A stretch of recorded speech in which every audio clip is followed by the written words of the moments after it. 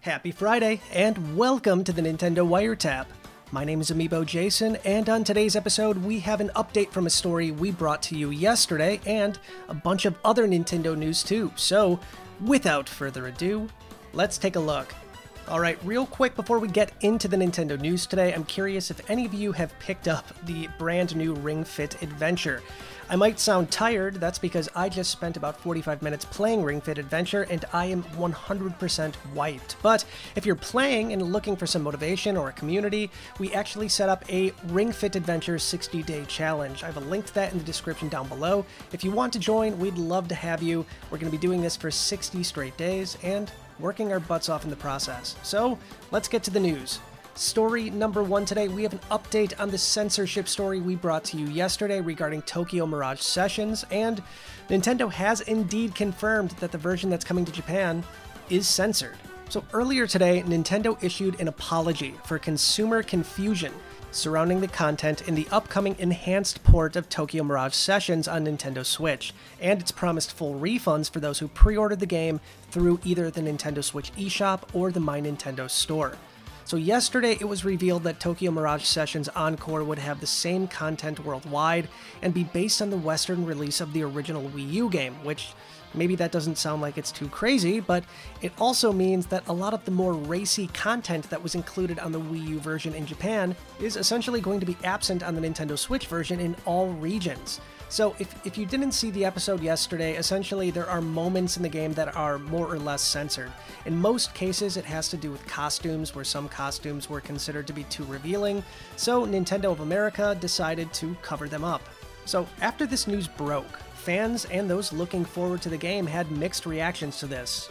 So, like I said before this morning, a statement was issued on the official Japanese Nintendo website, and Nintendo said that it should have been more forthcoming with letting people know about this. And of course, like I said before, there are going to be full refunds for those in the Japanese markets. But for us in the US, we shouldn't really notice a difference whatsoever because we never got that version to begin with. But there you go, folks, official confirmation from Nintendo that the censorship gate is in fact real.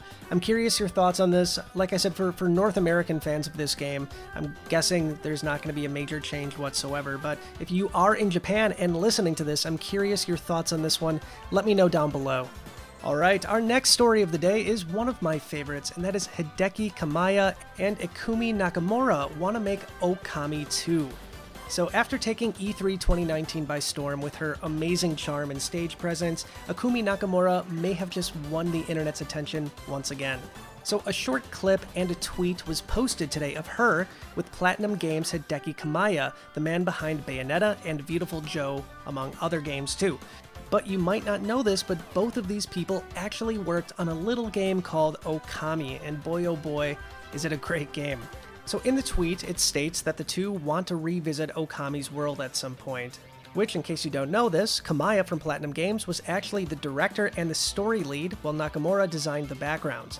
So, of course, the two took to Twitter and Instagram to post these pictures, and they're trying to get Capcom's attention to make this happen.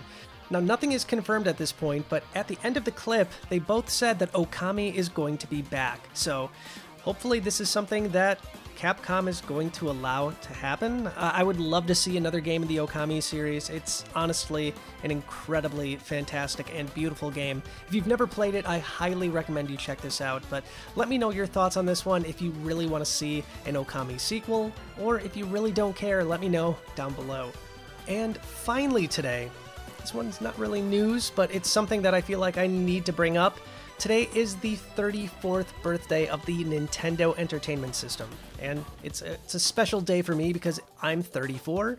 The NES was born the same year that I was, so I have a very special place for Nintendo in my heart. To close out today's episode of the Nintendo Wiretap, I really, really have to just shout out my love for the NES.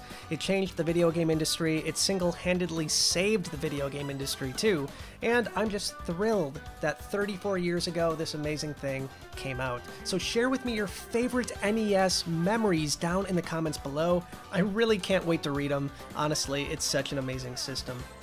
Alright, folks, that's going to wrap up the Friday edition of the Nintendo Wiretap. As always, I'll see you soon with yet another episode, and I hope to see at least some of you over at NintendoWire.com taking part in the Ring Fit Adventure 60 Day Challenge. I'll see you next time. Bye, guys.